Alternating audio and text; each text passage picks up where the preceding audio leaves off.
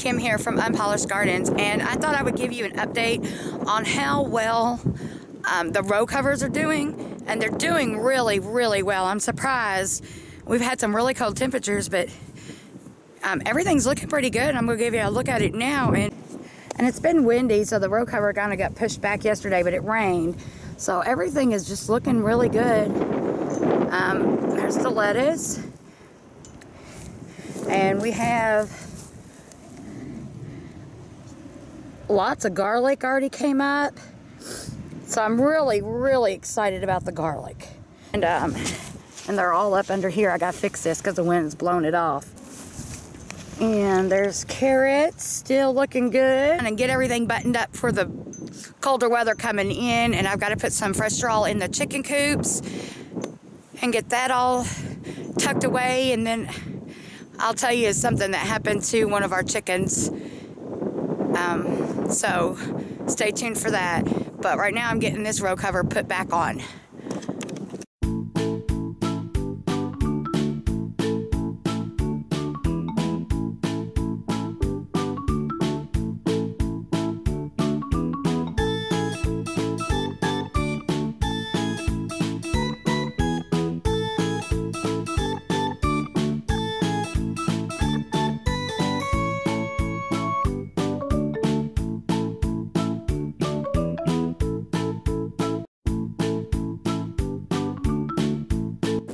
Gonna go get the straw.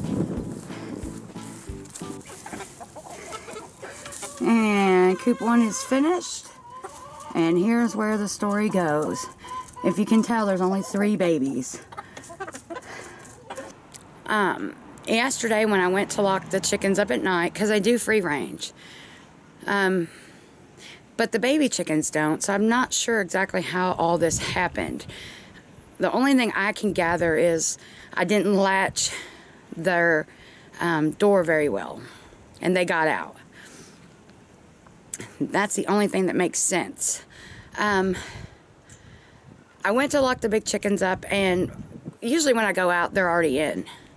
But I went outside, and two of them were still outside of the coop, and kind of thought that was strange. So I was trying to get them back in and lock them up. And when I look in there, there's well, I count my chickens, and I'm missing uh, one of the big chickens. And I saw a chicken in the corner, and I, it was black and white. I thought it was a chicken. It was black and white, so I thought that was my chicken, only it looked a little small.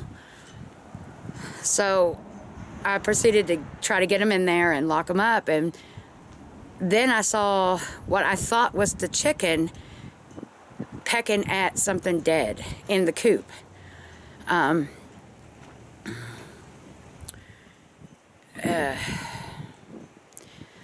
so what was in the coop was a chicken hawk.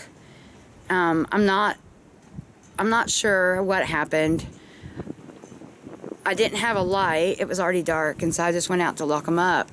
So I got my daughter to come out, and uh, she had her flashlight on her phone, and we looked at see what it was eating, because I was missing a big chicken. And we realized it was one of the baby chickens. So she went and checked the coop, and there were no baby chickens there.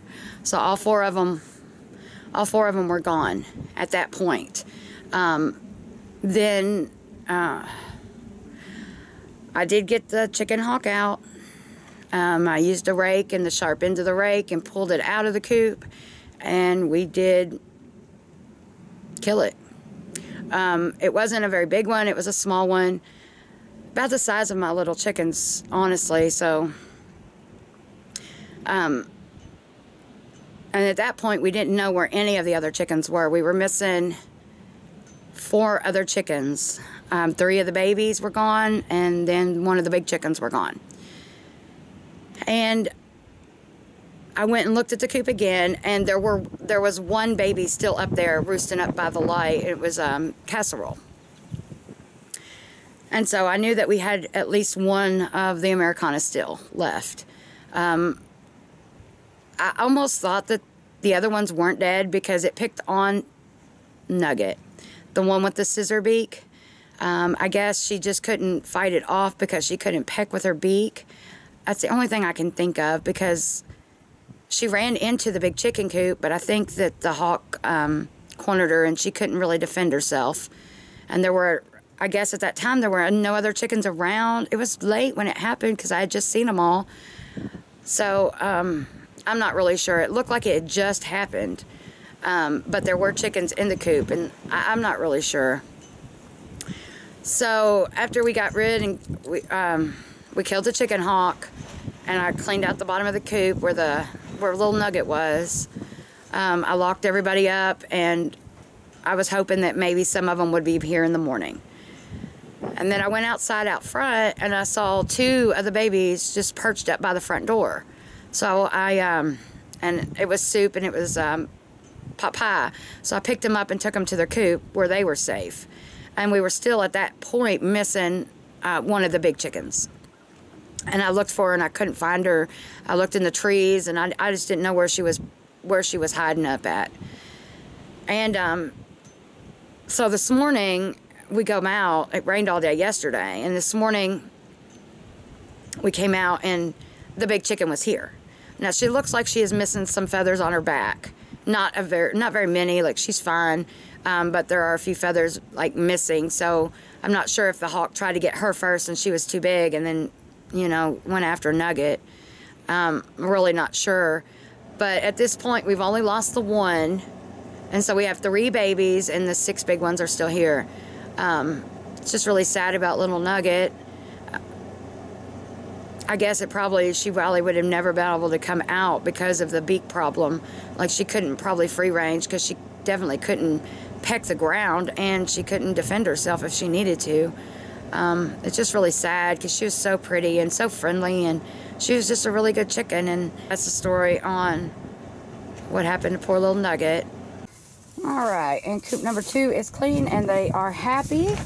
And we are still getting a pretty good amount of eggs.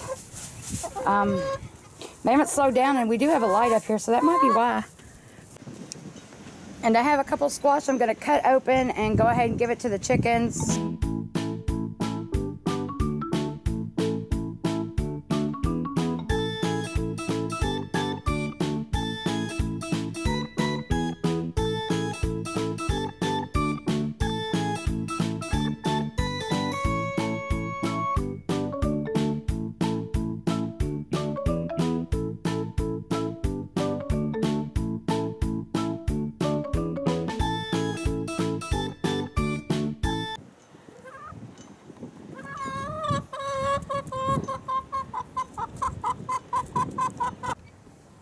And I wanted to just show you how well the containers are holding up. If you haven't seen that video on how I built these containers and what I used, uh, there should be two videos up. So go ahead and check them out. I can link them up above. And there's our, there's my chicken. His name is Ernie. And then Bert is over here. There's Bert. And there's the second container. They've held up really nicely. Thanks for hanging out with me today as I was covering up the beds that the wind had really, really just tore off my row cover. And they are working amazing. I'm at Amazon. They work wonderful. And um, you saw uh, putting the straw back in the chicken coop and filling up their uh, well, I did fill up their feed and their water, but I don't think I put that on video. But I did get fresh straw down for them. Since it's rained, it's kind of wet in there and all around it. So we've got that taken care of. I gave them the rest of the acorn squashes and they'll hopefully they'll enjoy those tomorrow because it's supposed to snow tonight. And um, yeah, don't forget to subscribe and leave a comment. And until next time, bye guys.